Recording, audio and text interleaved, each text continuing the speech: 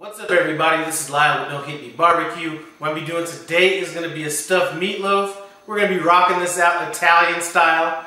This recipe is in collaboration with another YouTube channel by the name of Authentic Epic Boom.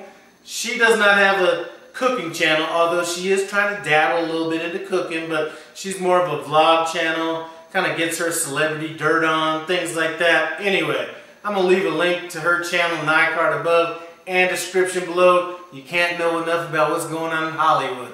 Anyway, what we're going to be doing, like I said, stuffed meatloaf. What are we going to do? We're going to stuff it with some mozzarella cheese, some sun-dried tomatoes, all different kind of good stuff. Anyway, instead of me telling you what I'm doing, come on in and take a look at these ingredients. So here are the ingredients we're going to be using. I don't have a specific recipe for this. I'm hoping that this video will serve as more inspiration than an actual recipe. Anyway, we have some 50-50 uh, beef and pork mixture here, some salt and pepper, Italian seasoning, granulated garlic and onion, basil, we have some uh, parsley that's chopped up as well, some sun-dried tomatoes, and some mozzarella cheese that we're going to be shredding, and some Philadelphia cream cheese.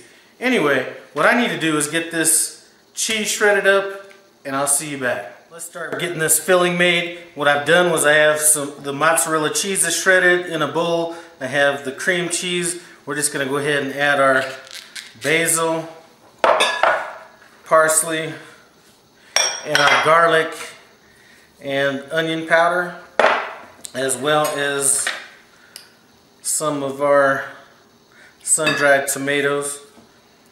And like I said, this is just something that we're playing by ear. Might as well throw as much in there as possible. Let's go ahead and just kind of start mixing it in. This is about as mixed up as it needs to be. Now if you want to run over and check out Authentic Epic Boom's meatloaf recipe, I'm going to leave a link to her uh, recipe in the iCard above that should be popping out right now. All right, I'm gonna go ahead and set this aside. Let's get working on this beef. And pork, excuse me. So we have our ground beef, ground pork. This is gonna be real simple. We're not gonna be adding any eggs or anything to that unless it looks like it needs it. We're adding our Italian spice, our salt, and our pepper. We're just gonna kind of mix this in. All right, now we have that mixed in, I'm gonna go ahead, you know, I'm gonna go ahead and add a little bit of these, these breadcrumbs to it.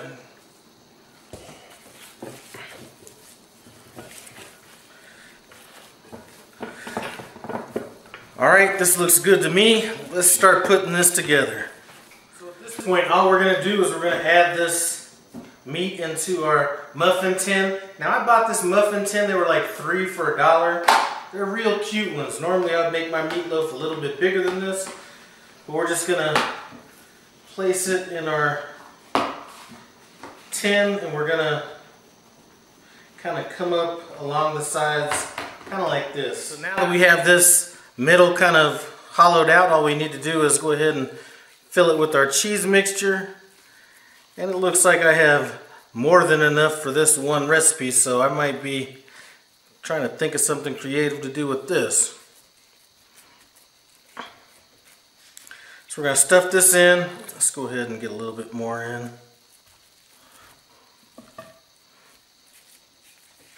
Boom. Go back over it with the rest of this meat mixture. We're going to try to make sure we get it pressed in really good. Now we're going to be throwing this in the oven and I'm not going to want to throw it in at a high temperature because I don't want, a lot of times if you throw it in at like 350, 375, somewhere in there, you'll start, the, the mixture will actually start boiling and I don't want to do that. So we're going to be cooking this at a low temperature, probably in that 290, actually we're going to go with 295 and I'm going to go for about 30 minutes on it.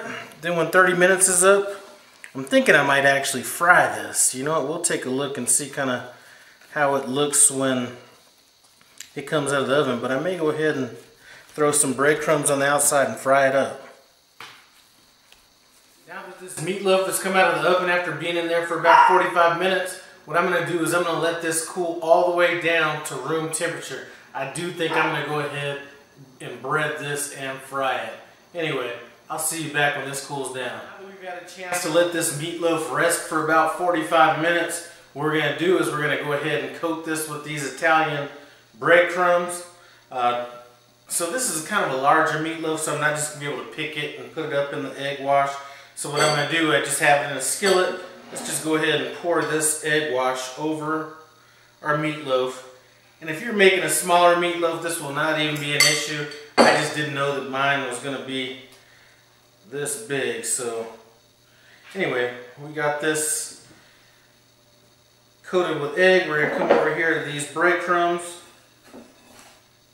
We're going to coat all sides of this.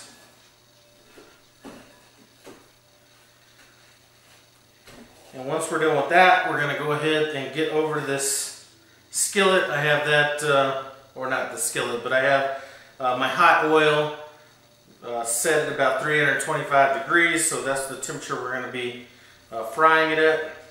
So I'll meet you over at the fryer. All right, let's get this bad boy in this oil. Now I'm going to be very careful with this because this is a pretty big meatloaf right here. It's probably, I'd say about three, four pounds. So I'm going to go ahead and just brown this on all sides. It's probably going to take a good four minutes to get this whole thing done. Alright, so this has been cooked on all sides. We're going to go ahead and set this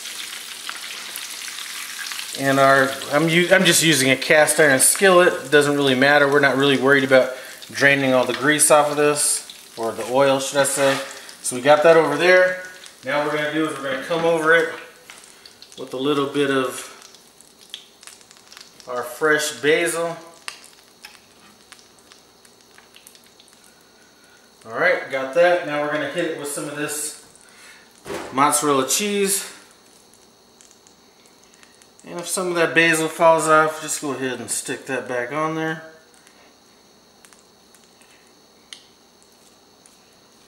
Can't have enough mozzarella cheese. Now I'm going to go ahead. I'm just going to go over it. I just have some leftover jarred, uh, some kind of a tomato sauce. We're just going to go ahead and go with that over that. I have my oven on 350 degrees. We're going to go ahead and throw it in the oven until this cheese and all that starts melting. And I'll see you back when that's done. This just came out of the oven after being in there for about 15 minutes. I'm going to go ahead and let it cool down for probably another 10-15 minutes. Then we'll cut into it and see what we're working with. So let's cut into this meatloaf and see what I'm working with.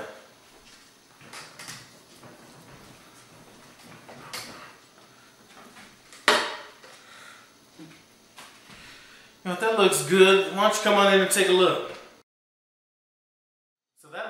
good. Most of the cheese stayed inside of the meatloaf. Not a lot of it leaked out. I guess it doesn't really matter if it doesn't taste good, but uh, that was a lot of work for a meatloaf.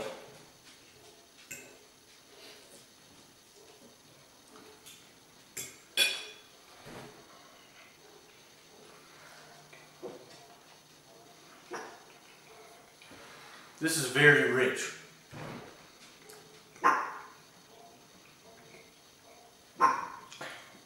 What really comes through, obviously that cheese, but you have that uh,